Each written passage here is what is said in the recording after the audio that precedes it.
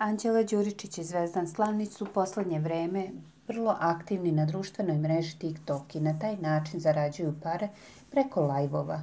Oni su imali takozvani okršaj preko ove kineske društvene mreže sa Nenadom Aleksića i dok su molili ljude da ih što više tapkaju i šalju poklone, odgovarali su svojim fanovima na poruke. Gledaoci sa TikToka su zamjerili da su Anđela i Zvezdan blokirali jednu internet grupu fanova koji također nose prepoznatljivo ime Bungiši.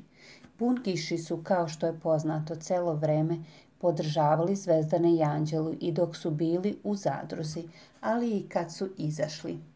Zašto ste blokirali Bungiše? Nezahvalnici jedni. Nizali su se pitanja dok su Anđela i Zvezdan molili za pomoć.